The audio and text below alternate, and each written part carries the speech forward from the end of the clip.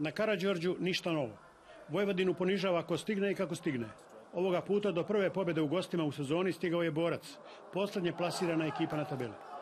Za pobjedu mu je bio dovoljan samo jedan gol, koji je još u trećem minutu postigao Lima Cruz. O igri Čačana toliko, Vojvodine ni toliko.